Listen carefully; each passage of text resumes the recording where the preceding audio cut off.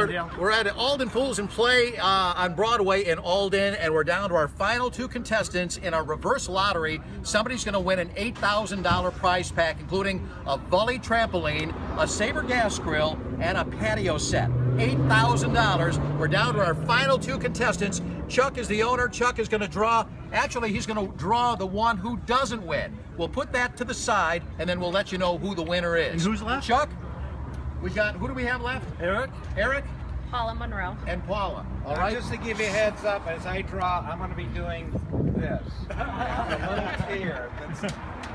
So pick it and hold it, and I will draw the one that's left in the uh, in the booth. So do I okay? announce it, or- nope, Nope. nope. This is the winner This right is here. the winner.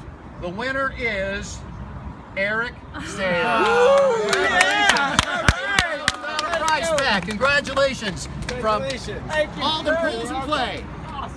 You got it. Great. Thanks for Guys, joining us. We had a lot of fun today. 716. Guys, thank you for listening.